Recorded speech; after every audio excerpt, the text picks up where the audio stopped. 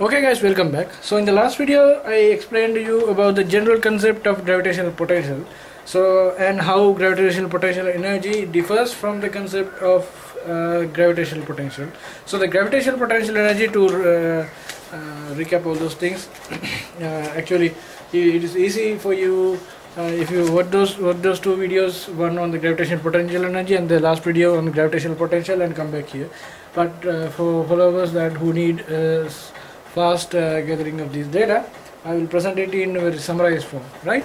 So the gravitational potential energy of a point or of a body at a point in a gravitational field is the work done by an external agent in moving the body from infinity to that point, right? From infinity to that point.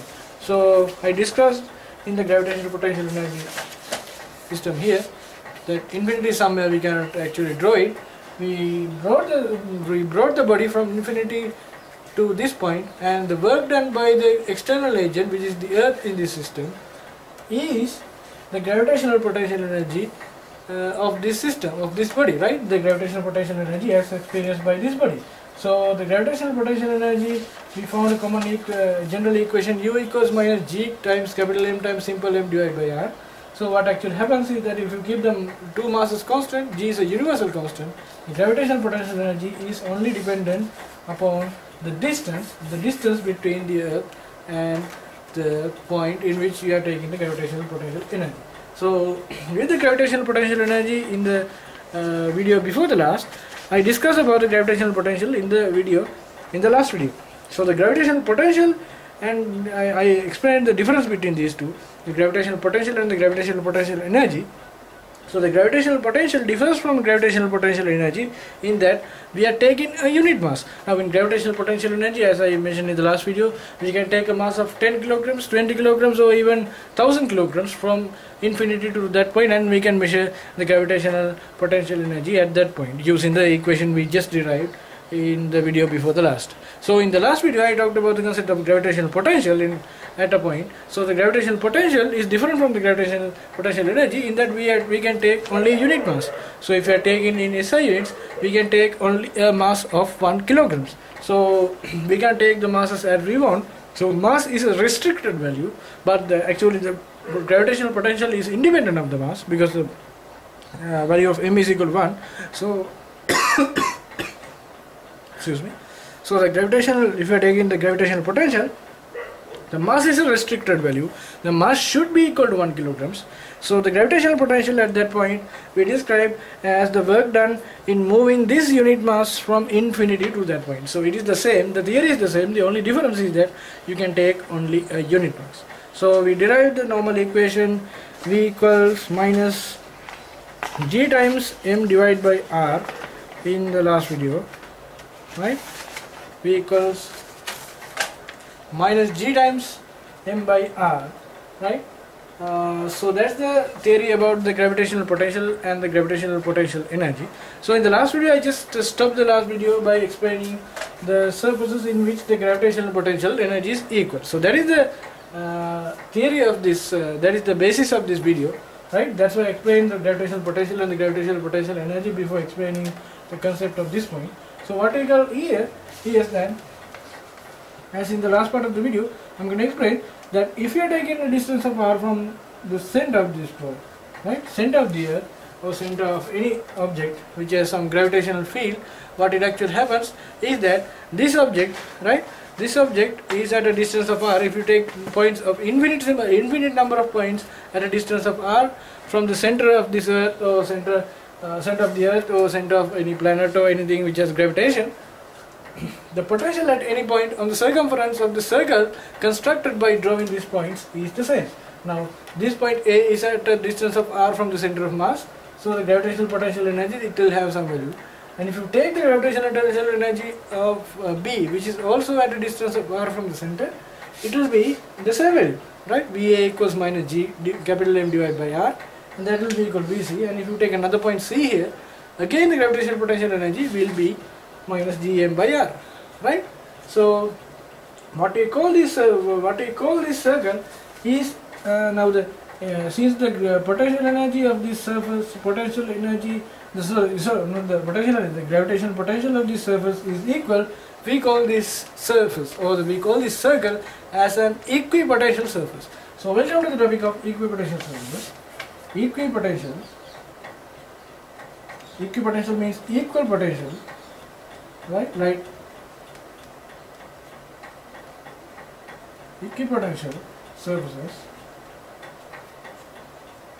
So equipotential surfaces are any any types of surfaces in which we have infinite number of infinite or one or two even one or two is sufficient even two is sufficient two points is sufficient in this uh, circle or surface the in equipotential surfaces the potential at any point on the surface is the same regardless of the position. Now regardless of this position this position is for these two uh, two points but their position is different but the gravitational potential is the same.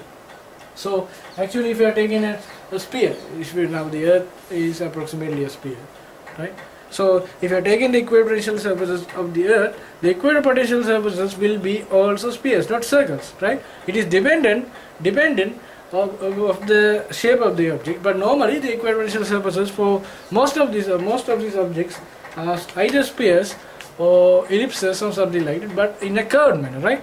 But in a curved manner. For a circle it will be a circle.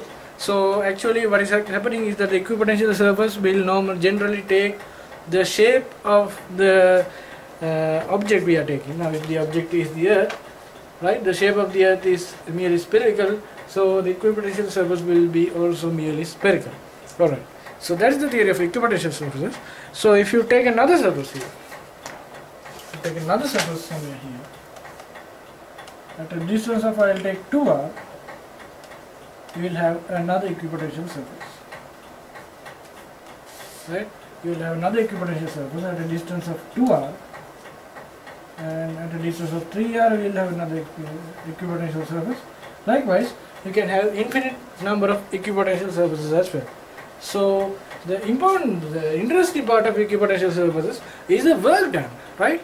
Now in the explanation of gravitational potential energy, I explained to you that the work done by an object uh, when moving from infinity to that point, from from infinity to that point, is uh, called the gravitational potential energy, right? So this is the theory is called the gravitational potential energy. So what actually happens is that this now A is, uh, if you construct a equipotential surface taking A as a point on the surface and if you construct another equipotential surface taking B as a surface on that surface, the second equipotential surface because taking the uh, work done by work done by this object when moving from this surface in which A is a point on the first surface uh, to the uh, the other equipotential surface in which B is another point on this uh, on the second surface is approximately we found as mgh right? So that is approximately equal to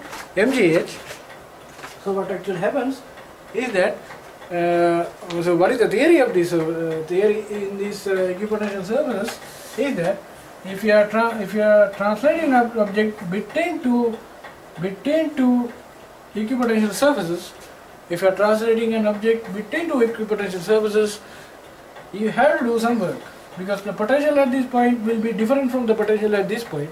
So due to the difference of potentials, there will be a difference of uh, in uh, gravitational potential energies. So due to the difference in the gravitational potential energies, there will be some work. So you have to do that work in order to uh, translate this object between these two equipotential surfaces.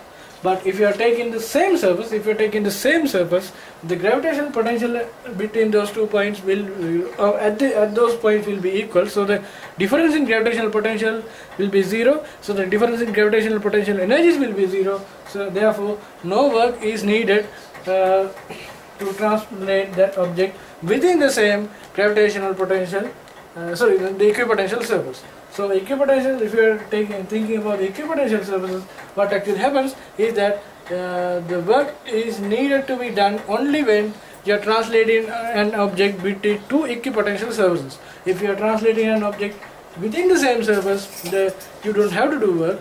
And the net uh, gravitational potential energy and the net gravitational potential will be zero. So that's the theory about uh, equipotential surfaces and how gravitational potential energy plays a, plays a key role in determining the energy and the uh, work done that is work needed to uh, be done in order to uh, translate these surfaces. So in the next video I will be talking about a new concept on gravitational potential energy and that will be about the time variation, the frequency and the other stuff related to the motion of an object under some gravitational field. So thanks for watching this video and I'll see you then.